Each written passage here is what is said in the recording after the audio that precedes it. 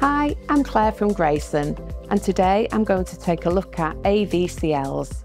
AVCL stands for Air and Vapour Control Layers. They are used to prevent moisture that's created within the inside of an SFS or timber frame building passing through the structure and causing damage.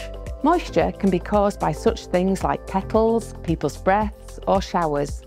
Now, if this moisture is allowed to transfer from a warm inner part of the building through the structure towards a cold outer layer, it can cool down and create interstitial condensation, which can result in the deterioration of the fabric and structure of the building.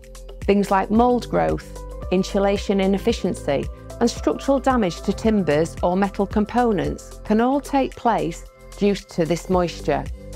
And as it occurs inside the layers of the walls, roof, or floor, it can be difficult to detect.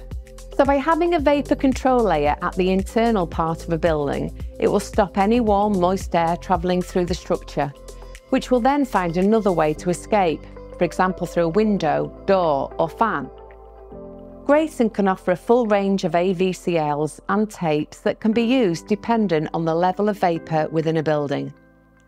Vapour Check, suitable for low risk buildings such as warehouses or industrial units. Vapour Barrier, used in medium risk buildings like offices and residential builds. High performance vapour barrier, used in high risk buildings such as sports halls and swimming pools. Fully bonded vapour barrier suitable for high risk buildings that require a bonded product. As well as these standard products, there are also fire rated options available, such as the Class B FR Vapour Check and the A2 Vapour Barrier. So if you need help choosing the correct air and vapour control layer for your project, contact our knowledgeable team on 01 709 786 100.